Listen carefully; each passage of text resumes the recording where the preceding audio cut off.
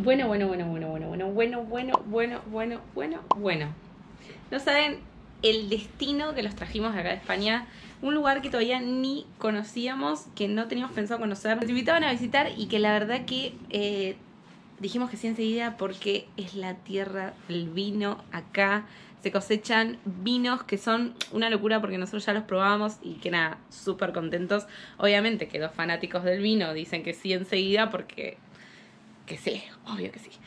¿Y dónde estamos, Luqui? Contanos un poquito. Estamos en Aranda del Duero.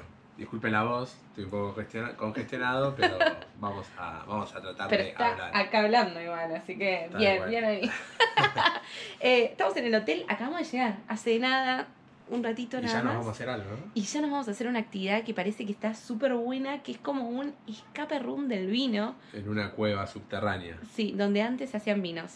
Así que arrancamos con este video, ¿te parece? Vamos. ¿Empezamos? Vamos con esa intro.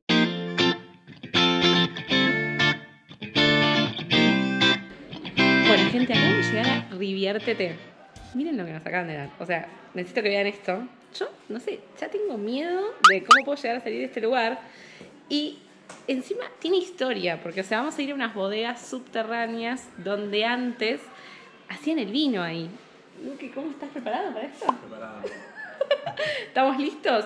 Pero antes le quiero presentar, que no se los presente a Cris rápido, que va a estar todo el fin de semana con nosotros. Hola, Y chicos. la van a ver mucho en este video. Así que bueno, ¿estamos listos? ¿Estamos listos? Yo sí. Yo no sé, chicos, pero bueno, vamos. Podría haber puesto más guapa aquí para- Bueno, mi nombre es Bea. Empezamos aquí antes de bajar con una vista aérea del centro de Aranda. Si os fijáis, todas estas marcas son bodegas subterráneas. Más de 7 kilómetros de bodegas que antiguamente se comunicaban entre sí. De tal forma que podíamos atravesar todo el centro de Aranda caminando por las galerías subterráneas sin necesidad de subir a la superficie.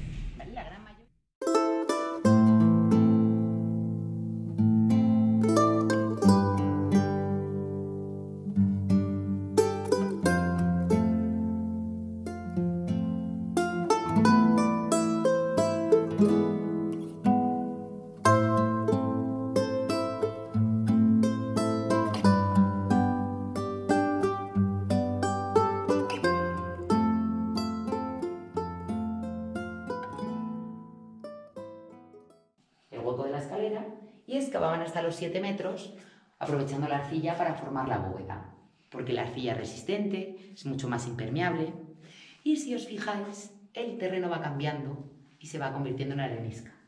Por eso las bodegas de Aranda se encuentran todas entre los 9 y, bueno, un poquito menos de los 13 metros de profundidad. Bueno, miren cómo quedó esta sala de escape room del vino. Gente, metieron una llave. O sea, no les quiero arruinar la sorpresa, pero adentro de un queso. O sea, estoy en shock. Estoy en shock con este lugar. No, la verdad, me encantó. Me encantó. Un aplauso, por favor. Increíble. No, la verdad, buenísimo. Y acá disfrutando una copita de vino. Así que vamos a hacer un brindis. Salute. Salud, chicos. Bueno, buen día, Luqui. ¿Cómo Buen va? día, bien, amaneciendo. Amaneciendo acá. Bueno, ya son las 10 y media de la mañana. Sí, ya son las diez y media. Eh, fue, fue una noche dura. no, la verdad que fue increíble. O sea, fuimos a un restaurante, conocimos al dueño, es un genio total de vino feliz. Eh, lo vamos a dejar por acá para que también lo vean. Un vino, pero chicos, increíble. ¿A vos qué te gustó más? ¿El, vi- ¿El blanco o el tinto? Tengo que reconocer que el blanco. El blanco, el Y blanco es la estaba. especialidad de ellos también. Sí, es la especialidad de ellos, el blanco estaba increíble. Eh, tienen un restaurante que se les voy a dejar acá abajo, eh, la cuenta de Instagram, para que lo vayan a ver. Si vienen a Aranda de Duero, tienen que venir a este lugar porque la verdad que es increíble. Más o menos los platos rondaban entre 12, 16, 20 euros mm, como para compartir, ¿no? Son como Sí, más como para picotear. picotear, sí, sí, sí. Y comimos ceviche, les voy a dejar acá las fotos acá al lado. Eh, Pulpo. pulpo. La verdad que increíble. Y una cosa especial que tienen, que el postre. ¿O no? El postre es tremendo. Tiene unas croquetas eh, Dulces, unas croquetas dulces que ganaron el premio a la mejor croqueta de Burgos. Tremendo, tremendo, tremendo. Así que nada, y estaba lleno de gente porque claro, eh, supuestamente les voy a contar un poco rápido la historia de lo que entendí ayer, que eh, anteriormente cuando hacían lo del vino, sobraba vino y, los, y se lo tenían que tomar para la nueva cosecha del vino. Entonces eh, se, se tomaban todas las barricas, parece ser, ¿no? En la época anterior. Y eran como nueve días tomándose todo el vino que quedaba. Y, Y es ahora, la semana que viene ya empezaría lo que Exacto. es esta, estos 10 días más o menos de, de que se toman todo, todo el vino y bueno, hoy en día hacen como unas fiestas y está todo toda la gente en la calle festejando. Claro, y están todos esperando eso, iluminaban las calles, como nada, la verdad que es súper, súper lindo. Bueno, viajeros, empezamos este día en el Cerro de la Mojonera. Estamos acá en el pueblo, entramos por el pueblo Pardilla, que es el pueblo de Cris, la chica que les mostramos en un poquito más atrás en el video. Y nos trajo a este lugar que es un lugar donde ella suele venir bastante y que se ve, es el límite entre la provincia de Segovia, que tenemos a un lado, y la provincia de Burgos, que tenemos para el otro lado. Es un punto geodésico y tiene unas vistas a los viñedos, eh, a, todo, la verdad que al campo es increíble. Y estamos como en el punto más alto de Ribera del Duero. Y eh, miren los campos que tengo atrás mío de viñedos, pero la verdad, o sea, una hermosura, una hermosura esto.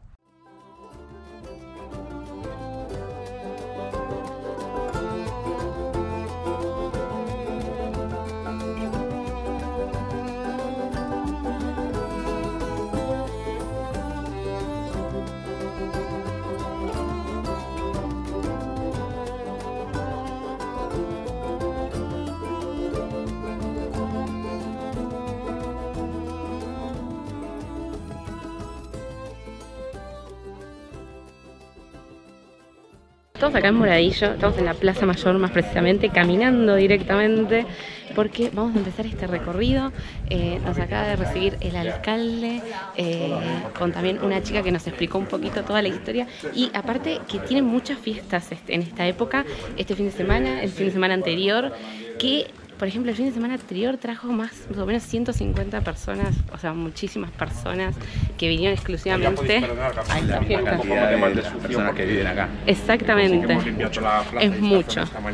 Así que, que bueno, nada, estamos como en un momento muy lindo de, de- de lo que es Moradillo, ya que vino muchísima gente, están de fiesta y muy lindo recordarlo así con tanta alegría.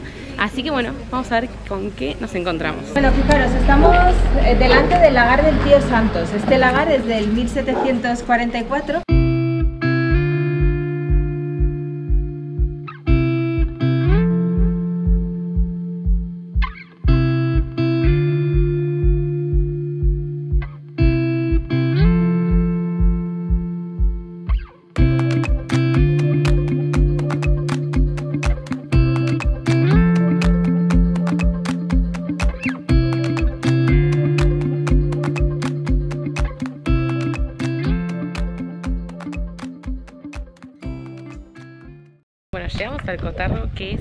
Barrio de bodegas. Estamos por bajar a estas bodegas antiguas donde antes hacía el vino. Y la verdad que, o sea, es increíble ver cómo en la antigüedad se hacía en este tipo de... O sea, cómo lo elaboraban, ¿no? Que era súper loco a cómo lo elaboramos hoy en día. Y recién, cuando estábamos ahí probando el vino blanco, el vino blanco se elaboró en uno de estos lugares. Y nada, me encantó poder probar ese vino. Aparte, solamente quedaban mil botellas y tuvimos la oportunidad de probarlo y estaba súper rico. eh, así que nada, les voy a dejar acá un videito que grabamos en ese momento como para que lo puedan ver. La verdad es que súper contenta de estar acá visitando este lugar. Eh, me gusta porque reconstruyeron este lugar en el sentido de que lo dejaron como estaba, pero trataron de eh, poder promocionar su patrimonio eh, y volver a hacerlo nacer. Así que nada, eso me gusta un montón. Bueno, estamos por entrar a una de las bodegas.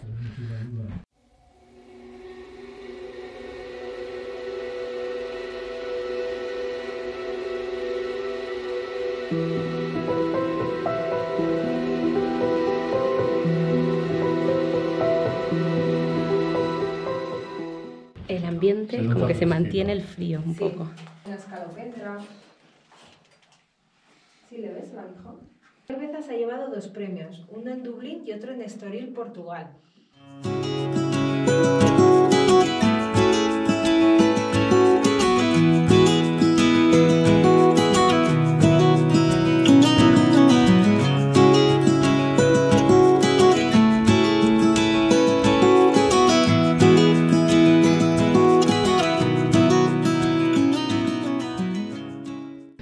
Estamos caminando por Moradillo después del Cotarro y este es el lagar El Tercio que se construyó en 1736, que es de es donde se elabora el vino que tomamos anteriormente, que se los voy a dejar por acá. Y es increíble que un vino todavía se siga elaborando en un lagar, así que y que no tenga como un proceso eh, convencional, por así decirlo.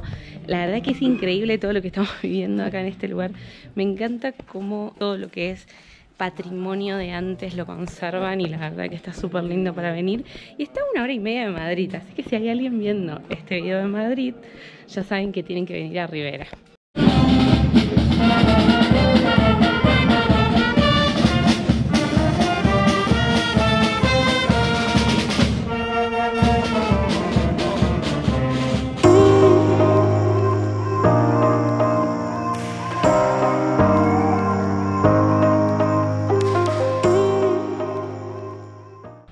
Llegamos a la bodega de Emilio Moro, que estamos justo acá en esta bodega. Quiero contarles que es una bodega un poco más grande.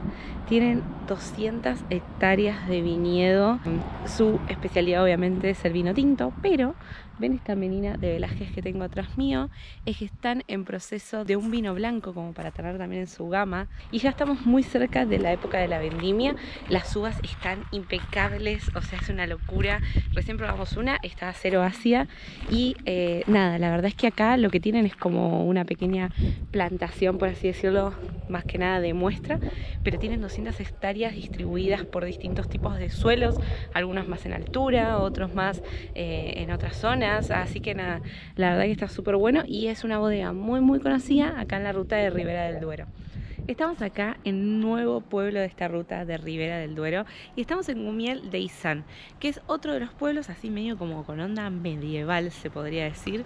Hoy es nuestro último día acá en la ruta de Ribera. Eh, estamos justo en la plaza principal de este pueblito que les acabo de contar.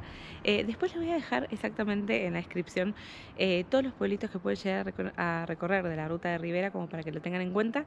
Y hoy vamos a visitar dos bodegas con dos catas de vino. Vamos a ver qué onda. Eh, la verdad es que hasta ahora viene siendo increíble. Anoche, algo que no les contamos, es que estuvimos en una peña. Y una peña en Aranda es un lugar donde se juntan amigos, eh, muy amigos, ellos se llaman de esa forma así. Y lo que hacen es, eh, se juntan, eh, son, tienen como, como su bandera, su estandarte. eh, les voy a mostrar una foto por acá para que lo puedan ver. Y antes, hasta hace un tiempo, no entraban mujeres, pero ahora se está permitiendo dejar entrar mujeres. Lo que pasa es que es una responsabilidad muy grande porque eh, tenés que pertenecer a la fiesta, tenés que ir a las fiestas, eh, tenés que tomar decisiones. Hay como un directivo por cada una de las peñas, creo que son alrededor de ocho peñas más o menos. Y eh, la verdad que me pareció un dato súper curioso y nos permitieron entrar a una de las peñas, que la verdad que fue totalmente increíble porque eh, tenés que ser invitado por alguno de los miembros. Y entonces conocimos a Antonio con su novia y nos invitaron a conocerla y era una bodega subterránea de las antiguas, eh, casi ni siquiera porque las que habíamos visitado eran más como museo y la verdad que súper increíble. O sea, me encantó, me encantó conocerlo. Eh, les dejo acá unos videitos porque como no les habíamos grabado, como para que ustedes lo puedan ver. Eh, por eso siempre les decimos que nos sigan en Instagram porque ahí les mostramos el día a día y mostramos un poco más de información que quizás no ven en el video.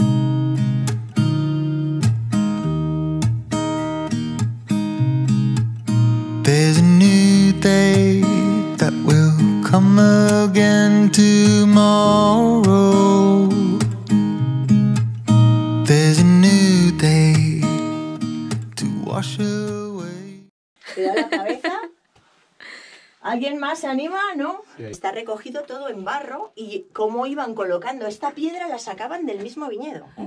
Toda la parte del viñedo es rocoso Entonces las piedras que arrancaban para poder cavar las amontonaban y las iban colocando en esta manera. ¿Y esto de acá adentro está intacto? Esto está intacto, lo que hemos recogido con cemento es la La parte externa, Como porque claro, lo vamos a protegerla. enseñar, no queríamos arriesgarnos A que a que cualquier día se derrumbe. Ellos iban colocando arcilla para pegar las piedras, que las iban colocando así muy bien, de manera que unas sujetaran otras, haciendo esta forma tan original de iglú, que para nosotros esto es una pequeña joya y por eso nos encanta Qué bueno que está. Bueno, vamos a probar la uva blanca que mañana nos contaron que va a ser la vendimia de esta uva.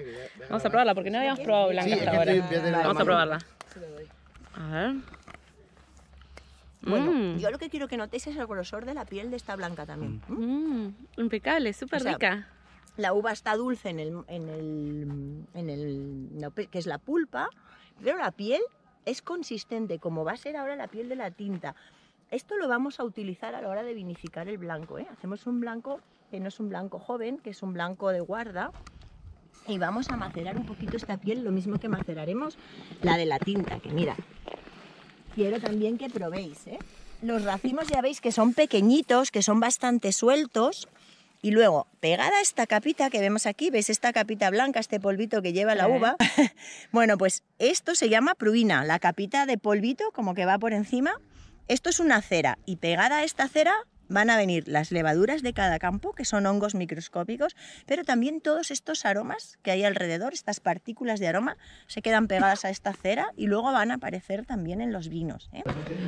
Bueno, estamos acá en la bodega naval. Vamos a. Ya nos dieron toda la explicación, que la verdad que fue increíble. Y vamos a empezar con esta cata de vino. Vamos a probar dos vinos eh, tintos y uno rosado. Eh, Que dicen que el rosado ya nos dijeron que está muy bueno. Así que bueno, vamos a ver, vamos a ver esta cata, vamos a probar, vamos a deleitarnos un poquito.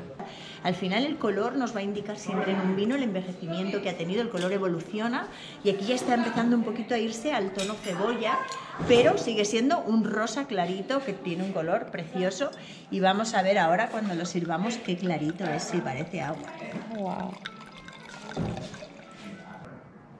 Bueno, si lo, si lo olemos así a copa parada, No, el olor es riquísimo. ya se nota goloso, pero se nota más floral. Pero en cuanto lo movamos, vamos a ver cómo desprende chuchería total, cómo se dulcifica muchísimo el aroma. Luego fuimos a la bodega Portia. Es una bodega diseñada por el arquitecto Foster.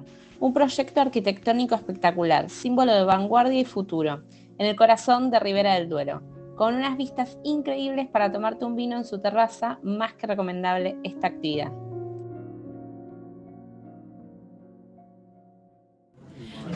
Acabamos de llegar a Cumpanis, que es nuestro primer restaurante con, una, este, con un sol Repsol. Eh, la guía Repsol es una guía muy popular acá en España, eh, donde recomienda diferentes lugares para ir a, almorzar o cenar. Y Cumpanis se, se ganó un sol Repsol, así que es el primero que probamos acá en España. Y nada, vamos a ver qué onda esto. Me dijeron que es increíble. Eh, todo el mundo con el que hablamos nos dijeron no, qué envidia que van a Cumpanis. Así que vamos a probarlo, vamos a probarlo y les vamos a mostrar todo. Bueno, nos trajeron primero un monólogo de bacalao y una, crocue- una croqueta que tiene jamón ibérico. Eh, estamos tomando un vino que les voy a mostrar un poquito acá. Es un vino de crianza 2018 y también eh, obviamente es de la denominación de origen de Ribera del Duero. Así que nada, está muy, muy, muy, muy rico. Lo estamos tomando ya acá. Y ahora vamos a deleitarnos con esto.